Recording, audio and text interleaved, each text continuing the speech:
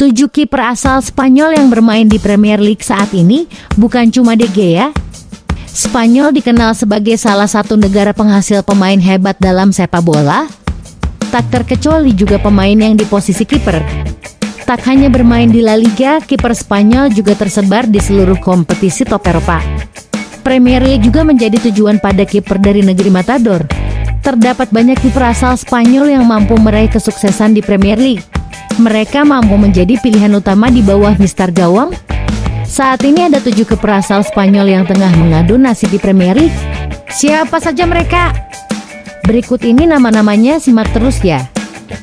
1. Adian Adian merupakan kiper pelapis di Liverpool.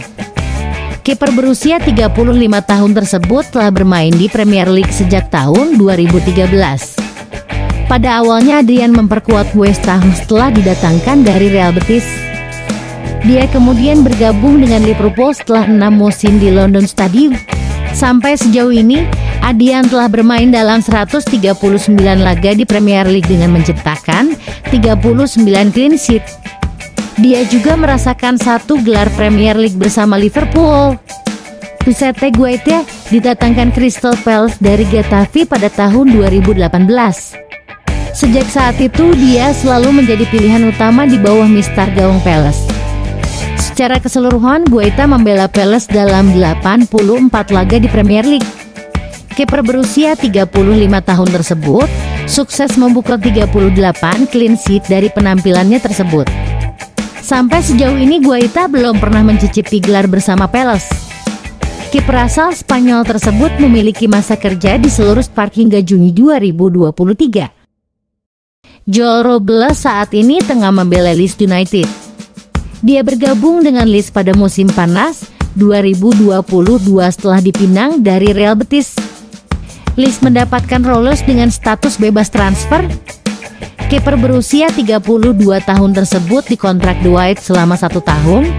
Sayangnya, Robles sampai sejauh ini masih belum membuat debutnya untuk Leeds. Manajer Jesse Mars lebih sering memainkan Ilan Mesir ketimbang dirinya.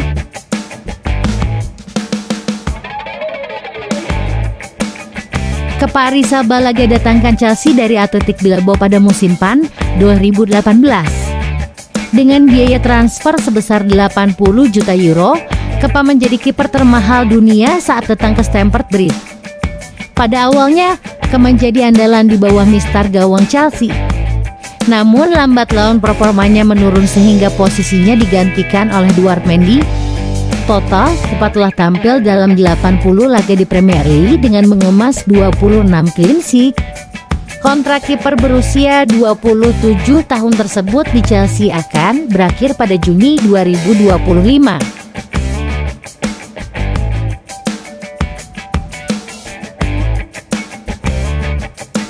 Roberta Sanchez merupakan produk Asia Akademi Brighton. Kiper asal Spanyol tersebut sempat menjalani masa peminjaman bersama Forest, Green Rovers, dan Rochella. Sanchez akhirnya dipercaya tampil di tim utama Brighton pada musim 2020-2021. Sejauh ini Sanchez telah bermain dalam 67 laga di Premier League dengan mencatatkan 23 clean sheet. Berusia 24 tahun, Sanchez saat ini terikat kontrak dengan Brighton hingga Juni 2025. Dia juga pernah membela timnas Spanyol dalam satu pertandingan pada 2021. David Raya merupakan kiper Spanyol milik Brentford. Dia telah membela klub tersebut sejak tahun 2019 setelah didatangkan dari Blackburn Rovers. David Raya langsung menjadi pilihan utama Brentford sejak awal kedatangannya. Dia berhasil membawa debis promosi ke Premier League pada 2020-2021. Sampai sejauh ini, David Raya sudah memainkan 27 pertandingan di Premier League untuk Brentford. Pemain berusia 26 tahun tersebut membukukan 9 clean sheet dari penampilannya tersebut